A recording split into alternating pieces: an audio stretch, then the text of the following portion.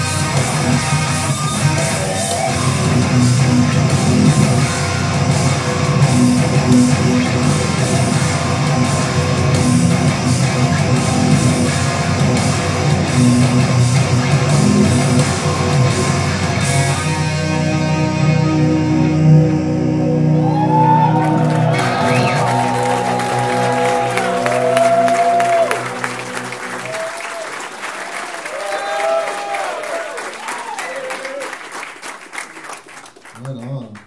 That was a song called Tempting Time.